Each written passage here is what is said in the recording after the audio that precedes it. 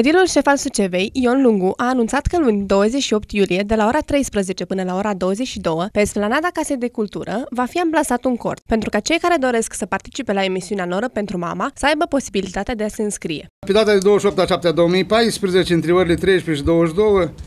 cine își caută noră să vină în centrul municipiului Suceava, cei la emisiune Noră pentru Mama, vor fi filmări în centrul municipiului Suceava, am mai spus o dată, mie nu mai trebuie cam, cine are nevoie de noră să vină în centru să, să-și găsească, să găsească nora, 28 la 7 2014, între ore 13 și 22.